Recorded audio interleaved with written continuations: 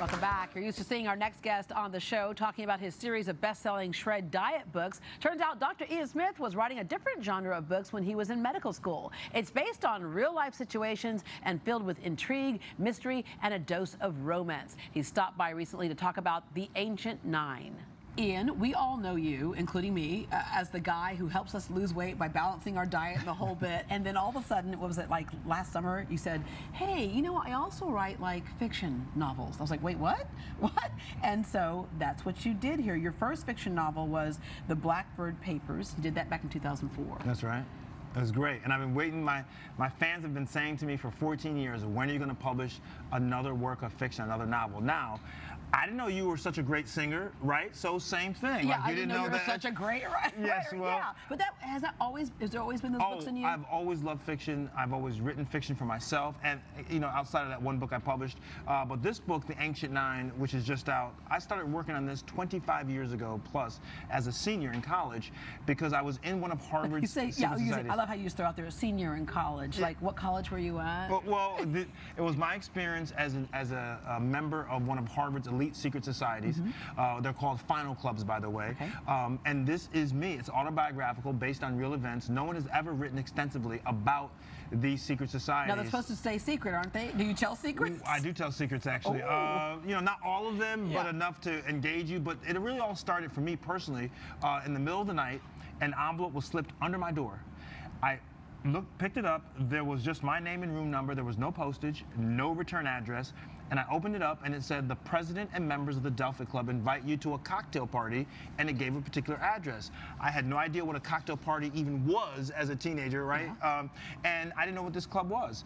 Uh, fast forward two days later, I'm in the locker room because I was a basketball player in the locker room, the older guys are saying that this is punch season, which means that this is the season that these private clubs at Harvard start inviting potential members ah, to come. Kind of like Rush in exactly, exactly. Okay. Um, and so I go back to my room and I look at this invite and realize that the name, one of the names that they had mentioned in the locker room was one of these clubs.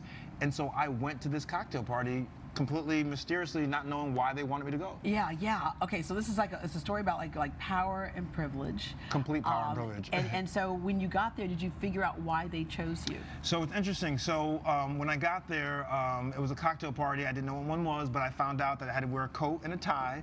and there were these young kids my age. I'd never seen people my age acting like adults. They were sipping cocktails and smoking cigars, right? Um, Hello, and, Ian. Welcome. Yeah, really. uh, and uh, the crazy thing was like the conversation conversations. Like these guys, so these clubs started 1700s. The most famous people in the world are members. Presidents Teddy Roosevelt, Franklin Roosevelt, the Kennedys, Kennedys yeah. T.S. Eliot, the famous poet, mm -hmm. Oliver Wendell Holmes Jr., the Supreme Court Justice. These guys were saying things like, I'll never forget this one conversation. One guy said, let's go to the Bahamas this weekend. my dad's not using his plane. Yeah, well, what's interesting about this is, of course, we certainly know that there are lots of folks who are legacies. I mean, basically, uh, you know, their parents went to these schools and, right. and their parents are very wealthy. You just mentioned, uh, you know, group, uh, the Kennedys, the whole bit. You came from complete different background. Single mom, Single mom, brother. I was, I mean, you know, lower middle class, working class family. I was everything these clubs was not. So yeah. I represented the other side of the tracks. And so I go into this cocktail party and I'm hearing these conversations. Everyone's wearing a Rolex. Uh, this dad's, his dad's a governor. I bet your Timex kept, kept better time. My Timex kept great time. it was just ticking along. Yeah. But, but, so it was such a unique experience going through the process of joining this club. And then once getting in, that I thought one day I want to tell the story. So as a senior, I start typing the story because I wanted all of the stuff to be fresh to me the geography of the campus, the feelings I felt as kind of a fish out of water getting into these clubs. Yeah. And so after 25 years, it's, it's here. It's all in here, and all the juicy details are in here. Yeah. But um, you know, you say autobiographical, but it includes mystery, of course. Okay. It, it includes the, the the book opens up with two kids trying to break into the Delphic Mansion in 1927, and wow. one student disappears. And then there are two very famous books at Harvard, among others. But these two famous books, one was from the private library of King James I. Wow. It's actually his book. And the other book was a book that was the last book of the John Harvard collection. The other books burned up in a fire in the 1700s, and one book remained, and that book remained because a student forgot to return it to the library. Wow. So Can you imagine what that fee is today? Right? so exactly. So this character, they would pay him actually yeah, because they're right. trying to have it. Right. But so this character, which is me, Spencer Collins, is trying to piece together Why this student disappeared in 1927. Fast forward to when he's in school in the 80s. These two very famous books, and lastly, The Ancient Nine, which is a group of shadowy men who are protecting the secrets that are buried within the walls of the club. Yeah, see, and that's one of those things that that's the intrigue part for a lot of us because we always hear about these secret societies that are really the mover and shakers behind a lot of things there.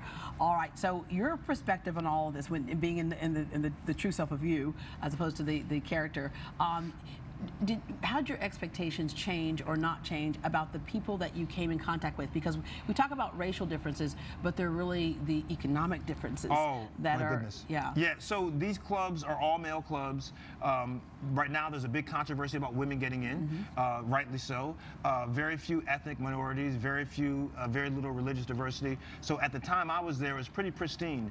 Now that has changed. But I had, you know, I had issues because I come from the other side of the tracks. Right. And though I was one of the quote unquote lucky ones to get in, I guess, I felt kind of conflicted because what about other people who were like me and didn't have the Don't have money? opportunities, Right, have yeah. opportunity. How about them getting in? Um, and so I, I, for all these years, I felt conflicted about it. And now the clubs are having real conversations about opening up. Yale has opened up their clubs. Princeton has done it. Harvard remains the last bastion of this kind of elite world. And now it's a big controversy on campus. Yeah, but you know, I, I'm going to wrap up with, and this is aside from the book, I'll wrap up with how important opportunity is and how important education is. Because although you've not forgotten where you've come from, I've not forgotten how hard my parents worked to get me where I am, um, we also know the way out of that is not necessarily um, pitting one another against each Yeah. other, it is joining each other Yeah, and so so so the diversity of, of, of in the club as it grew, you know, not exactly when I was there, but the connections you make, the brotherhood you make, um, they're, they're still your friends, but they also run the world. And what's interesting is that I feel like people should understand that these clubs are not just about secrets, though there are a lot of secrets. It's also about what you do afterwards. So, Yeah. you know, it's a fun story. There's a little love story in there too, by the way, that's based on kind of You're a little real love writer. I had. mean, you, Yeah, you, you yeah, have the, real- there's mystery in there, deal. intrigue, and then a little love story in the whole bit. So, And we, and we have a mystery online for people to solve for 2,500 bucks. It's a little fun thing. So Oh, if they go to our Facebook page, The Ancient Nine, if they can solve a mystery related to the book, they'll win $2,500 in cash. All right. Okay, the book is thrilling. You don't have to learn a lesson in it, but there's lots of lessons in there, and you can have a great time reading this book. All right, Dr. Ian Smith, thank you very much. Thanks for having me as always. Ian Smith's new book, The Ancient Nine, is now available for purchase. For more information, log on to greatdayhouston.com.